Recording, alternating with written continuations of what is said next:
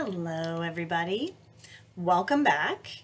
Today we're going to be looking at Unit 6.4, which is all about heat capacity and calorimetry. So get out your calculators. We're going to be doing some math today. Let's get started. All right, so before we get into the math, there are some vocabulary terms that we're going to bring into our calculations and it's important that you know what these terms mean on a concept basis. And the first one is called specific heat capacity, which is uh, abbreviated or has a variable of a lowercase c. And if you look at the units, um, that's kind of going to give you an indication of what specific heat capacity is. Specific heat capacity is the amount of heat a substance must absorb, or one gram of that substance must absorb in order to change its temperature by one degree. Okay, so if you imagine like, you know, if any of you have a swimming pool in your background, backyard, how much heat is required to change the temperature of your swimming pool by one degree. Okay. Some things require, some materials require a lot of heat to change the temperature. Some don't require much heat at all. Every substance has its own unique specific heat capacity. So it's by definition the amount of heat required to change one gram of a substance by change its temperature by one degree Celsius or Kelvin, same thing. Okay, same change anyway. All right, and I'm going to go over that concept again in just a second. There's also something called molar heat capacity. And again, if you look at the units and compare molar heat capacity to specific heat capacity, they almost are the same, except instead of changing the temperature of one gram of a substance, we're changing the temperature of one mole of a substance. Another one you might see, although this would be the one that is the least often used, is something just called heat capacity, not specific heat capacity. It is abbreviated with a capital C, and if you'll notice, the only thing that makes it different from specific heat capacity is that the unit of grams is gone. So it's just joules per degree Celsius or joules per Kelvin. But that one honestly does not come up very often. Okay. All of these are intensive properties. That means that uh, whatever a substance's specific heat capacity, for example, it doesn't matter how much of that substance I have. Of a substance's specific heat capacity is going to be intensive. It's independent of the amount. So let's look at this concept of specific heat capacity in a little bit more detail and make sure you have the concept down. So the question says, what if the same amount of heat were applied to the same mass of gold and silver. Which one would show the greatest change in temperature? And then I've given you each element's specific heat capacity value. Okay, and they're close, but they're not the same. Silver has a higher specific heat capacity than gold does. So let's we've already defined it, but let's let's kind of say it in a different way. I can see that silver's value is higher. That means silver can absorb more heat before we change its temperature by one degree. Okay. In other words, I'll say it to you in another way. Silver is the element that is more difficult to change its temperature okay? Silver requires more heat to change its temperature. Gold does not require as much heat to change its temperature by one degree. So if I'm applying the same amount of heat to both of these and they have the same mass, which one is going to heat up quicker? Okay, which one is going to have the greater change in temperature? Ladies and gentlemen, I hope you predicted correctly. That is going to be gold. Okay, because gold does not require as much heat to change its temperature. Okay, so let me give you another another substance that's not on the screen in front of you. Water has a specific heat capacity of 4.184 joules per gram degree Celsius. Now that is a number much higher than those two in front of you.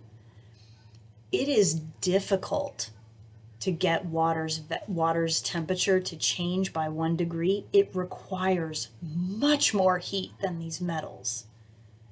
All right, and think about it. That should make sense to you. Metals are good conductors. Okay, metals conduct heat very well. If you've ever, you know, worked with a pot on the stove that has a metal handle and the pot's been on the stove for a while, that handle gets pretty hot. Metals absorb heat relatively quickly and the temperature of a metal changes relatively easily, whereas water doesn't so much. Why? Because it has a higher specific heat capacity value. Okay. Now, we've mentioned this before, the first law of thermodynamics, that energy cannot be created or destroyed. It can only be converted from one form to another. So we're going to see a lot today of situations where something is losing heat and that heat that is being released or lost is gained by something else. And we've actually already talked about that a little bit about how, for example, an exothermic reaction, the system releases heat and that heat is absorbed by the surroundings. So we've actually already talked about this concept, but we're going to put it into more concrete situations.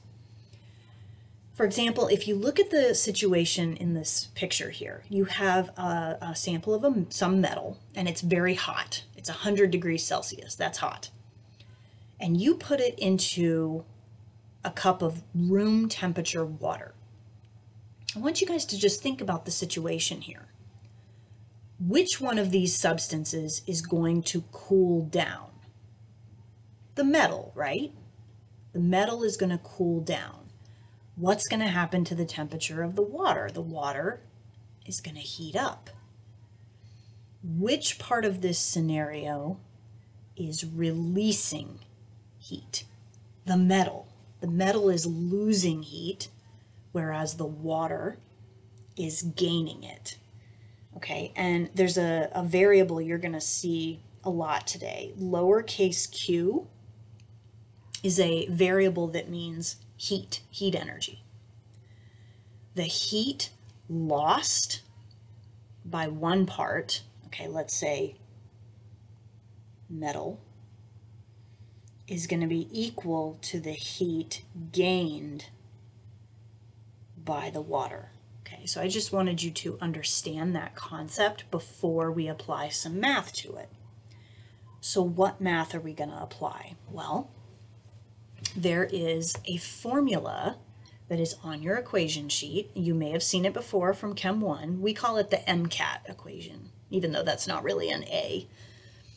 Okay, but Q is heat, M is mass, C, lowercase c, is specific heat capacity, and delta T is the change in temperature. And we always do final minus initial. Okay. And sometimes, guys, you'll have questions, and I'm gonna you're gonna do some examples in just a minute that are really, really simple, where you're doing nothing more than plugging values into that equation. Done. Sometimes, however, you're going to be having situations kind of like this picture in front of you, where you're looking at two different parts of this scenario and you have to account for the heat lost and gained in, in the whole scenario. So what I would do, I would use this MCAT equation twice. So let me write this again. The heat lost by the metal, and now watch, I'm going to change this just a little bit, is equal but opposite in sign to the heat gained by the water. Now let me explain why I put that negative in there. Okay. Remember what we said, I think it was two units ago, maybe even three. Energy released. The, the metal's going to lose energy. That is exothermic, ladies and gentlemen. Remember that exothermic heats are negative. Okay. So the heat on the left side of the equal sign is going to be a negative number. Heat gained by the water that's heat gained, that's endothermic. Endothermic heats are positive. Positive. How do you make something negative equals something positive if they have the same quantity? By throwing a little negative sign in there. Now those numbers will work out. Okay, so really what we should say is heat lost is equal but opposite in sign to the heat gained. Now, mathematically, what would that look like in this situation with the metal and the water? I would do two MCATs, one on each side. I would do the mass of the metal times the specific heat capacity of the metal times the change in temperature of the metal. Again, we always do final minus initial, okay? Even if that gives you a negative number, that's okay. Is equal but opposite in sign to the mass of the water times the specific heat capacity of the water times its delta t. Okay, and what you would, in a problem like this, one of these variables would be the unknown. Okay, you would have multiple values given to you and something in this equation here would be unknown to you.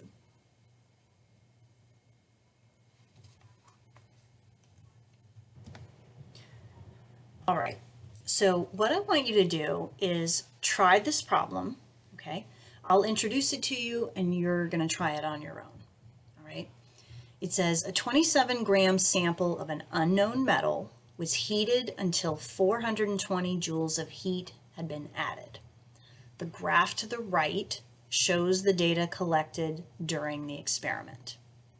Okay, and we can see that time is on the x, temperature is on the y. Letter A says determine the temperature change of the metal. Okay, final minus initial. And that should say letter B. It's a second letter A. It says determine the specific heat capacity of the metal. Include units in your answer. Okay, before you get going, keep in mind this is simpler than that situation we were just looking at. Okay, we just are looking at a sample of metal. That's all.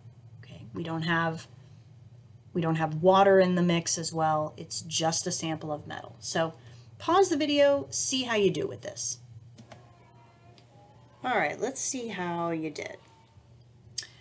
So the first part says determine the temperature change of the metal, and that's nice and simple. That's just final minus initial, and that's coming from the values off of the graph.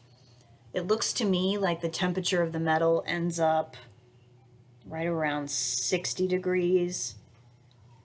And it looks to me like it started right at about 20 degrees. So my delta T is going to be 40 degrees Celsius. Okay, so there's my first answer. Then the next part says determine the specific heat capacity of the metal. Well, guys, I'm going to write this up at the top of the slide. This is the only equation we know that involves specific heat capacity. And this question is actually simpler than the sort of example situation I did talked about on the previous slide. There's no water here. It's just the metal. And let's look at the pieces I can fill in here. I am given a heat value, I know the mass, and I just calculated the delta T, so specific heat capacity is my unknown. So let's plug everything in. I don't know what the specific heat capacity is. Okay, so I do the math and I'm going to round to two significant figures because of that number. So that gives me 0 0.39. And if you go back and look at your notes or the previous slides, here are my units. Joules per gram degree Celsius. Final answer. Okay, so that was a nice simple one because you didn't have multiple, you know, things to deal with. It was just that metal. All right, but I want you to look at another one. Now this one is very similar to what that situation two slides back with the hot metal and the cool water. So let's look at this one. It says a 46.2 gram sample of copper is heated to 95.4 degrees, so it's hot. And then it's placed in a calorimeter. Okay, that just means a cup of water. We're going to take we're going to talk about that in just a minute, what a calorimeter is.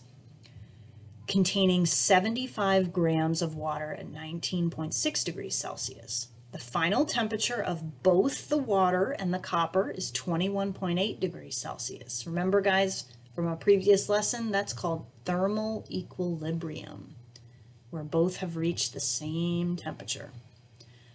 Final question What is the specific heat of copper? I want you guys to think about the situation I set up for you two slides back. Pause the video, see if you can solve this. All right, let's see how you did. Now, before I put up the answer, if any of you were thinking, you know, wait a second, there seems to be a missing piece of information. What is the specific heat capacity for water? That's a number that I would highly recommend that you commit to memory. The specific heat capacity for water is 4.184 joules per gram degree Celsius. And so assuming that you have that number in your mind, there should be only one unknown. So let's, let me pull up my work here. So I started off saying the heat of the copper, the heat, the copper is going to lose heat the heat lost by the copper will be equal but opposite in sign to the heat gained by the water. And in my calculations, I did two MCAT equations, two MC delta T's. The one on the left is for the copper, the one on the right is for the water. Okay, but notice in both situations, in the delta T's, I always do final minus initial. Okay, even if that gives me a negative number, like right there, and it should, the copper is cooling down. Okay, so I should get a negative number. And so my final answer for the specific heat capacity is 0.203. Please make sure to always include appropriate units. Okay, now, we're going to continue this concept of heat released is equal but opposite in sign to heat absorbed. And you saw that question mentioned the word calorimeter. Okay, guys, a calorimeter is just a device used to measure heat changes. Okay, for example, this is a what's called, and I didn't, I'm not making this up. It's literally called a coffee cup calorimeter because it's made of styrofoam typically. Why styrofoam? Well, styrofoam is an excellent insulator, meaning it does not allow much heat transfer from inside the cup to the surroundings outside the cup. This is why, you know, styrofoam cups are used a lot for like hot cocoa and things like that because it keeps the cocoa nice and warm. It doesn't allow much heat to transfer through that material. But you'll notice that inside the styrofoam, we've got um, something that can stir the solution, whatever's going on in there, and we have a temperature uh, measuring device, a thermometer, okay? And looking at changes in the temperature is going to give us indications of what's going on inside that calorimeter. So I have a multi-step problem here, and I'm going to work this one through with you, okay? It has multiple steps, but we're going to talk out each step. So I see I've got a sample of uh, a data table, and next to it, it says a salt was dissolved in a sample of water and the temperature was measured.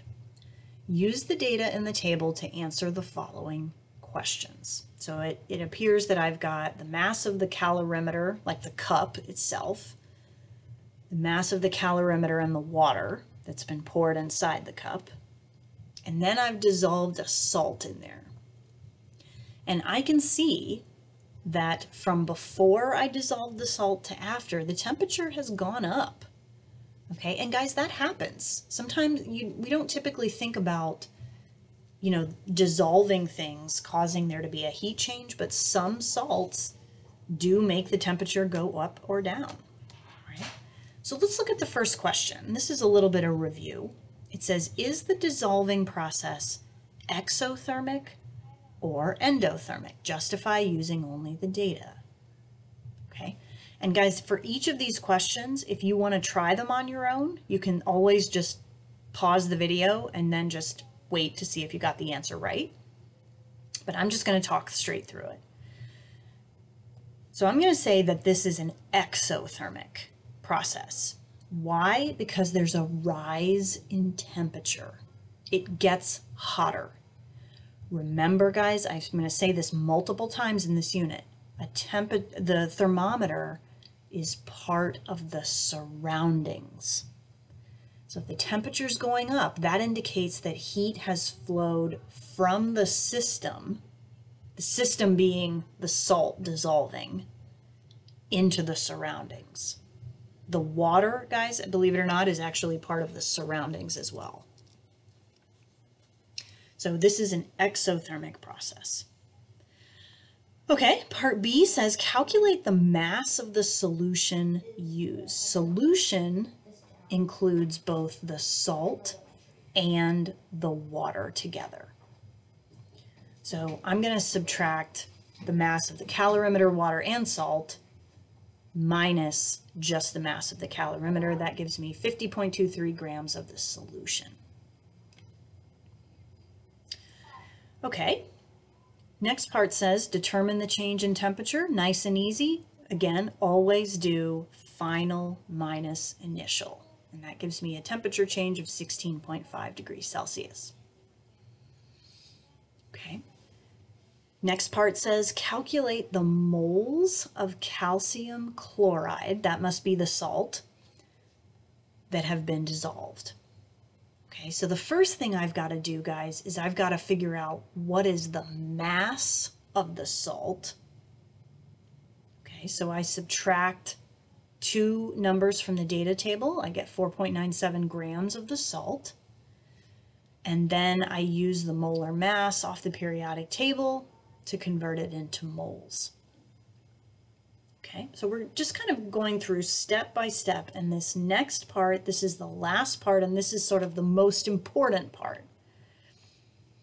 It says calculate the molar, that's important, molar heat of solution. Okay, so I want to come up with a final number that tells me what is the heat change involved in this process of dissolving calcium chloride in water. And then it says you may assume the specific heat capacity of the solution is 4.18. Okay. Now, guys, this is a similar situation that we've been seeing here. The heat of the solution, and we determined that that would be exothermic. So the heat of the solution, the heat lost by the solution, the heat released by the solution, where is it going? Into the surroundings. The heat lost by the solution will be equal but opposite in sign to the heat gained by the surroundings. So look at what I've written here. Okay, heat of solution is equal but opposite in sign to the heat gained by the surroundings.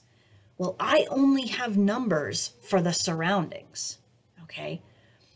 All I have is the mass of the solution. I have the specific heat capacity of the solution and I have the temperature change. But guys, remember, temperature change is a measure of the surroundings.